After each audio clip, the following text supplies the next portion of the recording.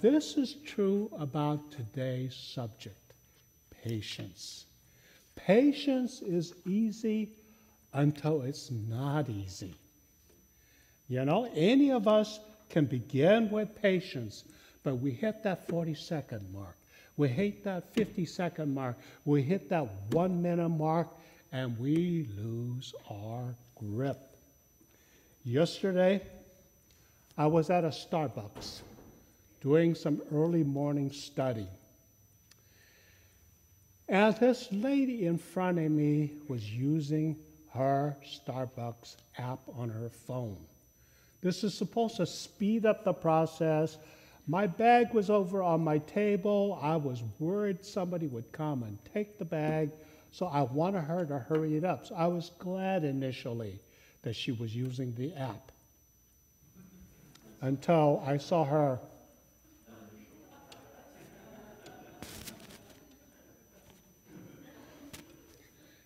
And you know, we were there for about seven minutes.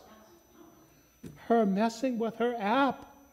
I was so tempted to lean over with some money and say, I'll pay for her. you know, I mean, how hard could it be to wait for the lady in front of you to get her coffee? It was easy until it wasn't. Well, I thought I was a patient guy. But Amazon knows better. That's why they have two day delivery. That's why, for those who can't wait for two days, they have fulfillment centers. Make you really feel good. Hey, some of you guys remember the old days? McDonald's had this program Your food in 60 seconds, or it's free. After all, it's called fast food, right? Well, you've been through a McDonald's lately? You don't get your food in 60 seconds. In fact, every once in a while, I get behind this car full of people and they're ordering their dinner. And they're sitting there, a mom is trying to ask each of the kids over and over to give their preferences. And you're waiting there in line for 15 minutes, and you want to pull out, but guess what? There's cars behind you. There's no other lane, and you're stuck there. So much for fast food. We're always in need of the grace of patience. We need it for others, of course, putting up with other people. But you know, sometimes we even need it for what? Ourselves. I've been waiting 10 years to get back to my pre Mandarin Baptist weight. Okay? I haven't had the time to do the kind of training that I used to do when I was running marathons. And little by little, it's been on there, and I'm getting so impatient with myself. But you know, you're learning a new skill. And it's taking some time. And uh, you know, you may need to be retrained for a new job. And it's not quite sinking in or you're waiting to buy a house and you're watching the interest rates and it doesn't seem to be in your favor, or you're looking forward to kids or grandkids and retirement, whatever it is. Life is full of opportunities and necessities for patience. Sometimes we even need to have patience with God.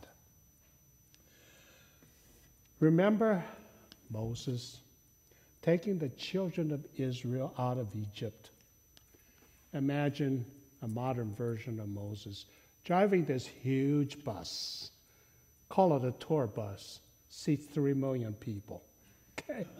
And so he's driving this bus and they are just about getting there, and he's been listening to the complaining, complaining, complaining. You know, it's too hot, Moses. or the scenery on this route is terrible, Moses. Uh, or the person I'm sitting to has body odor, Moses. It, it goes on and on and on. And finally, they get there, and they send in the spies, and the spies come back and says, "You know, those guys are too big for us to fight. Let's go back." Moses has to put in another 40 years in the desert waiting for those people because of those people. And Moses is saying all along, God, what exactly is your plan? What's going on here? Why are we going through this? And you know, this kind of stuff is memorialized for us in the Bible. Psalms that start off talking about waiting for God. How long, O Lord, will you forget me forever? That's pretty stark, right? Uh, or Habakkuk, he begins chapter 1, verse 2. He says, How long, O Lord? Waiting is a part of this life and of this lifetime. And even when we do have some measure of patience, there are other elements that get added on that makes it more unbearable. Right? When you're feeling some pain, you know, waiting is really hard. Um, somehow, that pain makes the waiting even worse than it could be. Or when a deadline is missed, oh boy. Certain people in our lives are harder to be patient with. A certain relative, a certain co-worker. I had this one lady.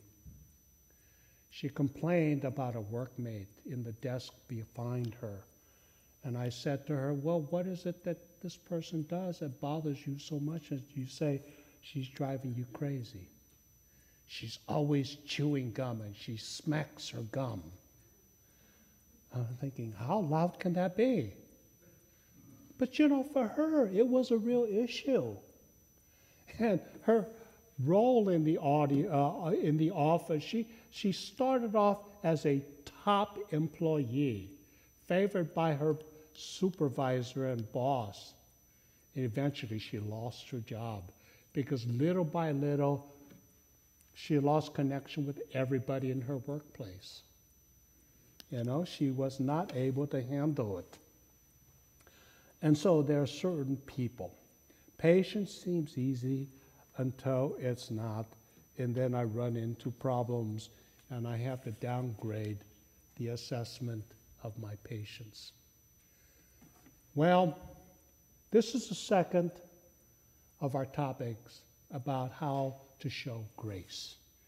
And the gift of grace to others in the way of patience is far more important than we might think, especially in God's eyes, if not in our eyes. Because, you know, for some of us, we may think of patience as kind of a wimpy virtue. I mean, when you take patience and you put it next to courage. You put it next to honor and integrity. You put it next to love and peace and joy. Huh. Is patience that important? Is it that great? Isn't it kind of like a third tier?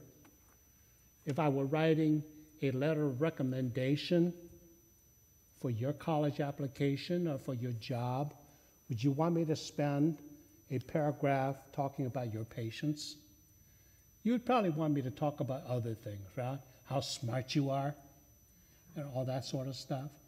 And so we tend to think of it not the way God thinks of it. As I was preparing this message, I was actually blown away by how big patience is in the Bible. And just to give you an initial sense of it, it's in good company with other virtues that the Bible talks about. But the fruit of the Spirit is what? Patience. When 1 Corinthians talks about agape love, you know what's the first descriptor of love?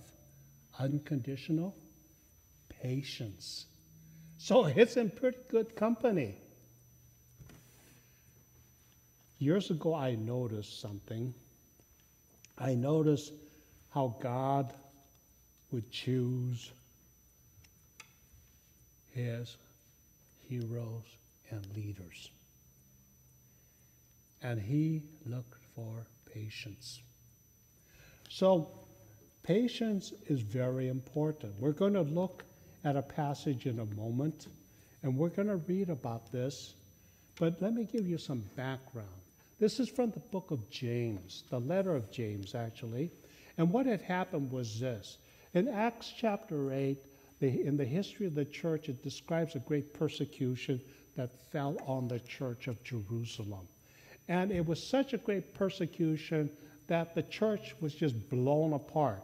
And the Christians had scattered to the four winds, and the only people left behind were the core leadership, including James, the brother of Jesus. And so, as these Christians went all over and the persecution continued from their Jewish relatives, from their Jewish leaders in their community where they still had to exist, things got hard. And so he writes this letter of recommendation on what to do. And he's saying basically, you know what? You need more patience in order to put up with this persecution because you're losing patience and now you're fighting with each other. You're grumbling against each other and you're falling apart. You ever see a good ball team where they, the players, even though they're stars, and they start to lose patience with each other and they're no longer getting along? And even though they have the talent to be the champions, they end up quite mediocre.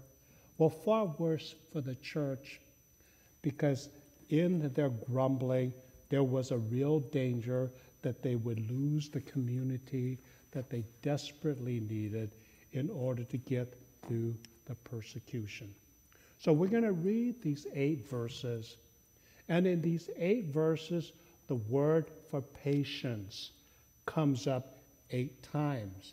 In fact, by the time you get to the end of it, James has kicked up the idea of patience into a higher level, which is called steadfastness in some translations and perseverance. This is super patience, okay? This is gutted out level patience. So let's turn to James chapter 5, verses 7 to 11, and I'm going to ask that we read it together. James chapter 5, and we're going to start there. All right, you see the word patient? just like I promised, all right? Let's read it out loud together, verse by verse. Be patient, therefore, brothers, until the coming of the Lord. Well, that could be a long time. See how the farmer waits for the precious fruit of the earth, being patient about it until it receives the early and late rains? You also be patient. Establish your hearts for the coming of the Lord is at hand. Do not grumble against one another, brothers, so that you may not be judged. Behold, the judge is standing at the door. As an example of suffering and patience, brothers, take the prophets who spoke in the name of the Lord. Behold, we consider those blessed who remain steadfast you have heard of the steadfastness of Job, and you have seen the purpose of the Lord, how the Lord is compassionate and merciful. Now, it's not talking about ordinary patience, it's talking about pretty high level patience the patience of the prophets and the patience of Job. And you know, there was nobody more patient than Job.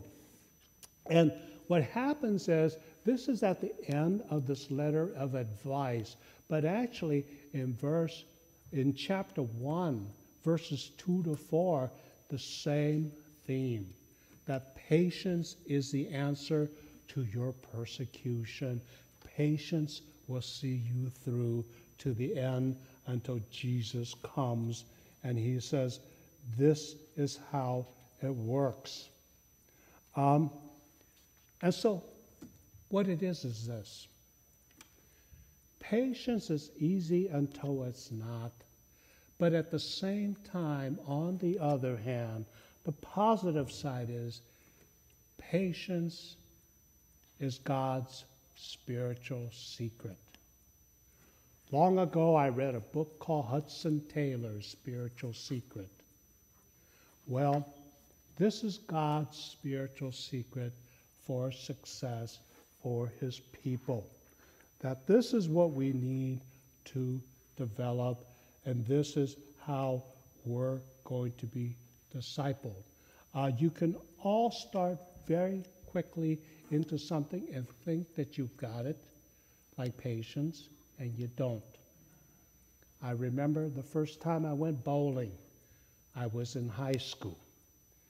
And somewhere in that first game, I managed to get three strikes in a row. Yeah, I got a turkey. And that practically quadruples your score. And I ended up in my first game with a score of 158. I have never since then come anywhere close. That was beginner's luck. Well, beginner's luck is all right if you're just messing around. But if you're going to be a professional bowler and you're going to make your living on it, you better not rely on luck. You better have something that you can count on when the going gets tough. And that's what God does with patience. In his discipleship, he's always used patience. Remember the first guy that God discipled in the Bible? Abraham. Abraham, I got some promises for you.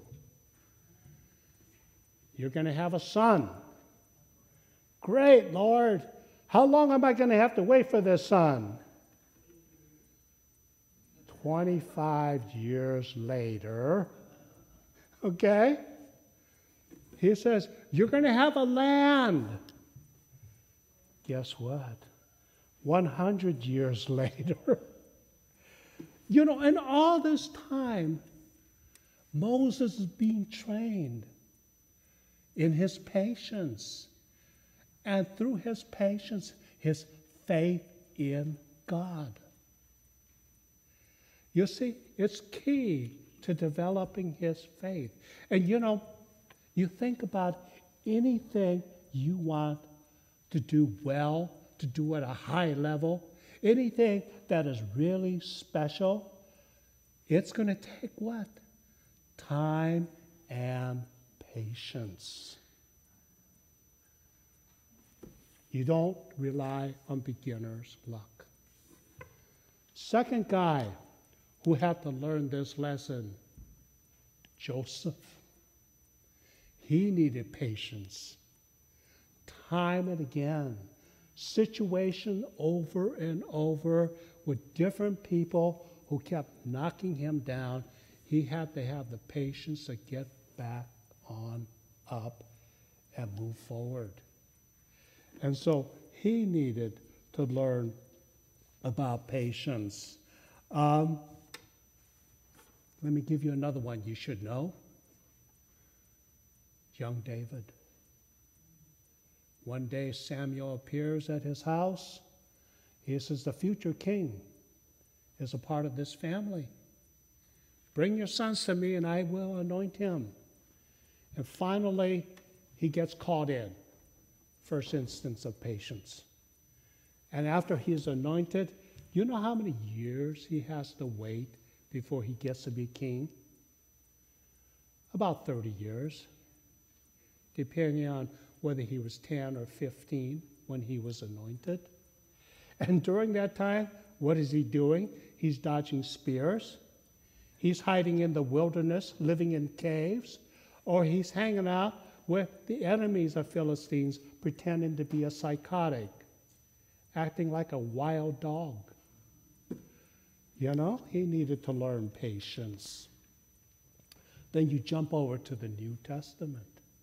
And there is Saul, whom God calls and says, You're going to be my apostle to the Gentiles. And yet he has to wait to be accepted by the church. He has to wait to escape his enemies. He has to wait to set himself on a self study program so he can rethink all of his Christianity until a guy named Barnabas comes and calls him into ministry and acceptance. Some of us are more motivated by negative examples. All right, here's two negative examples that are very well known. Moses is leading these people through the wilderness. And they come to a part where they says, Moses, we're thirsty. Are you going to let us die in the wilderness without water? God says, I'll give these people water. Where? There's no spring. God says, I can make water flow out of a rock. Go talk to this rock, Moses.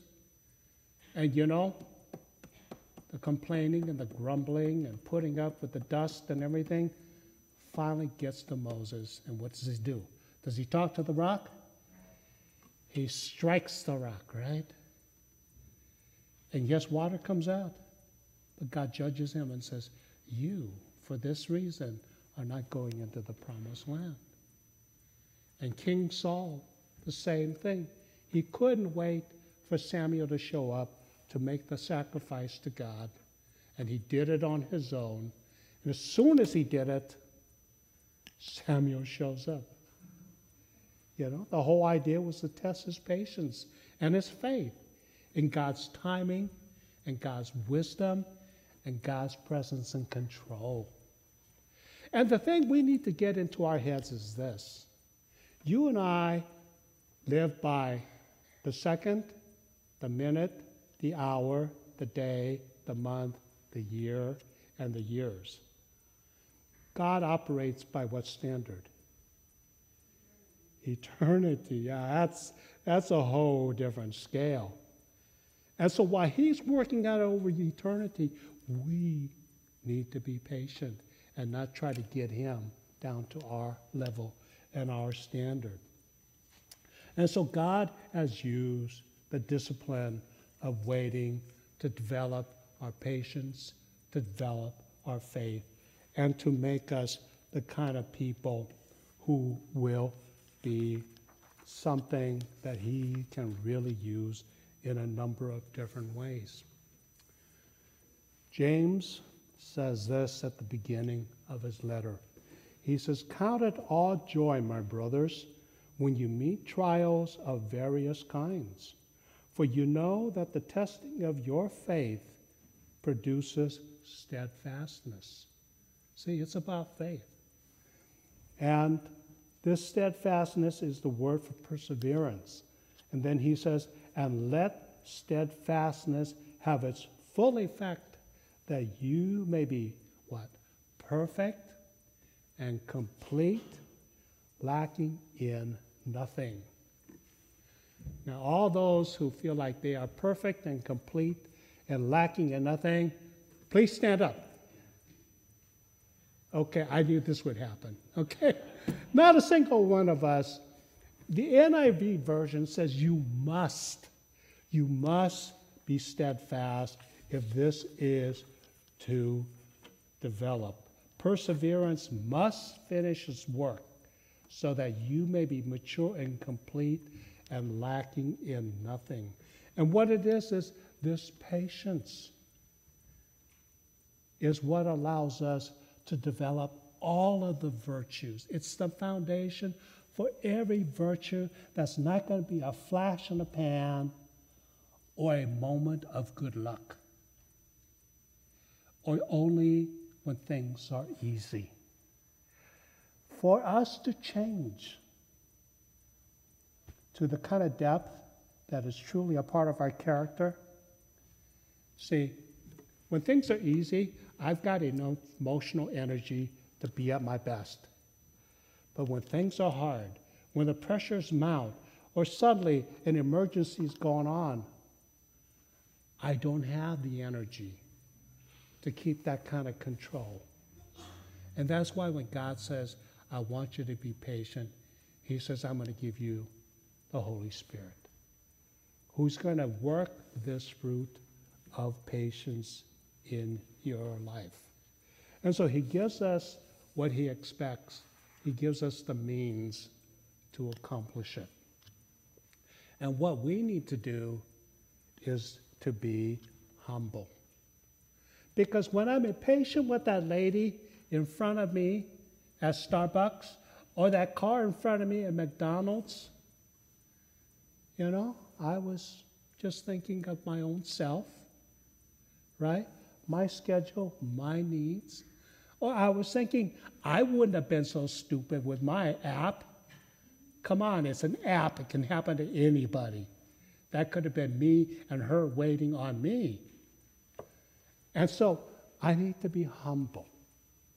I need to be humble with the girl who smacks gum in the table behind me. I need to be humble with my little kids when I say, let's get dressed for school, and they're fussing and doing all kinds of other things. I need to be humble with the people whose lives come across mine, or worse, those who are a regular part of my lives.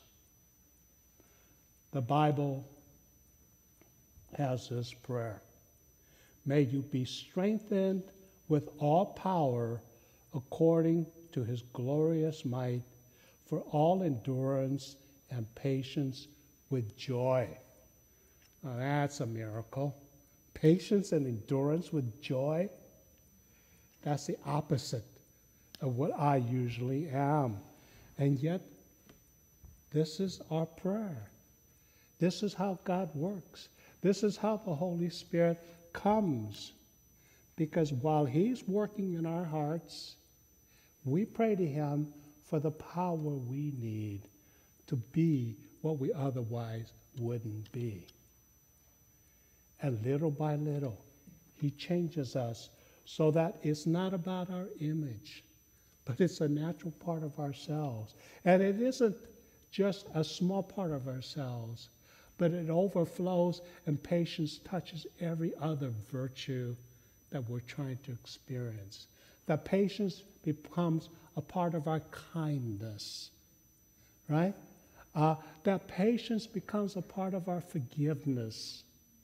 That patience becomes a foundation that makes us whole, perfect, complete, mature. And so, rather than to think this is a wimpy thing, as our second expression of grace, I see it now as the grace that I can practice so many times every day in all circumstances as God's spiritual secret to helping me develop. So my eyes have been opened about this. When I started to preach on this topic, I just thought of it as something that we can use regularly, but it's far, far better than that. And it's something that God has always worked into the lives of his people. So, for the irritating relative, I can pray for patience and for power. I can remember that the Holy Spirit is working in my life, and He's going to make it happen even when I can't. I can pray for those times when I can expect high stress. You all have jobs where there's certain times of the month, or certain times of the year, you can expect higher stress than usual. Or in the household, in the family, you can prepare ahead for that. Or especially for those personal sensitive areas, like my procrastination or my messiness. You know, the kind of things when people mention it, I go ballistic on them because you've touched on a sore spot. I can learn to be patient and endure when these things come up. It's okay to complain when you're having to be patient. But don't be acting out. Jesus complained. He says, You disciples, how long am I going to have to put up with you? But he never made it about himself.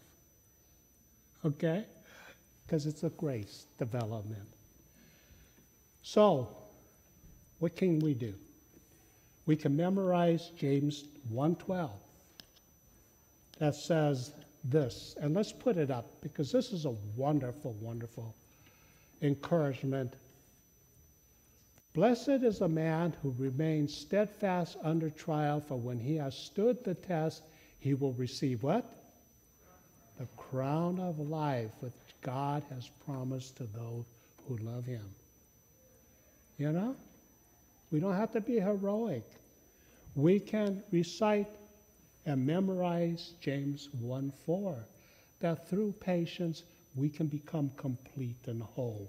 We can memorize and recite Colossians 1:11. May I be strengthened with all power according to your glorious might for all endurance and patience with joy, Lord.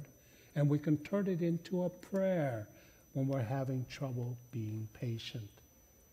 These are practical things that help us to do it. Recently, I've been thinking, you know, God is amazing. The way He lets people on their deathbed decide that they finally want to become Christians.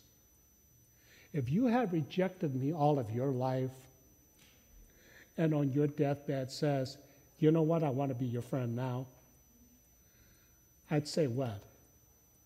Too late. But God doesn't do that. God is so amazingly, incredibly patient. He wants us to be patient, not for His sake, but for our sake. And, and I love this because, again, we can practice this so often in so many ways with so many people. Isn't that great? It's a tool we can use all the time. So, anyway, that's patience. So, generosity, now patience. And we'll continue to be those who can sow God's grace into the world.